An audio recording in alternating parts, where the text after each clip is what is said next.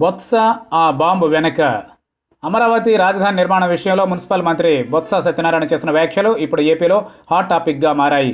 అమరావతి నిర్మాణంపై ప్రభుత్వంలో చర్చ జరుగుతుందని త్వరలోనే నిర్ణయం ప్రకటిస్తామని చెప్పడం వెనుక ఆంతర్యం ఏంటన్న చర్చ ఇటు సామాన్య ప్రజల్లోనే కాదు వైఎస్ఆర్ కాంగ్రెస్ పార్టీలోనూ జరుగుతుండడం విశేషం.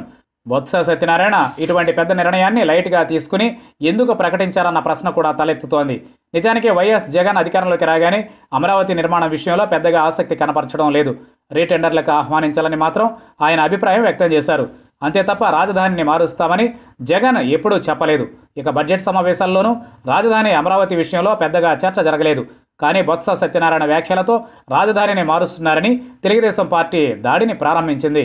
అయితే ఇక్కడ ఒక విషయాన్ని గుర్తుంచుకోవాలంటున్నారు వైసీపీ సీనియర్ నేతలు. అమరావతి రాజధాని విషయంలో జగన్ మాత్రమే ప్రకటన చేయాల్సి ఉంటుందన్నారు. బొత్స సత్యనారాయణ లాంటి వారి కామెంట్స్కు విశ్వసనీయత ఉండదని అన్నారు. ఇటీవల అమ్మఒడి కార్యక్రమాన్ని కూడా వారు ఉదహరిస్తున్నారు.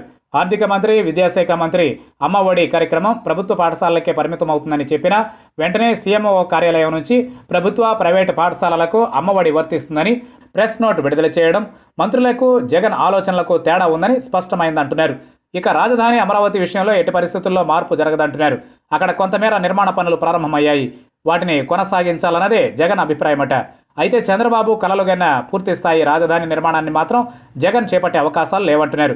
కొన్ని కార్యాలయాలను మిగిలిన ప్రాంతాల్లో నిర్మించాలన్నది వైసీపీ ప్రభుత్వ ఆలోచనట.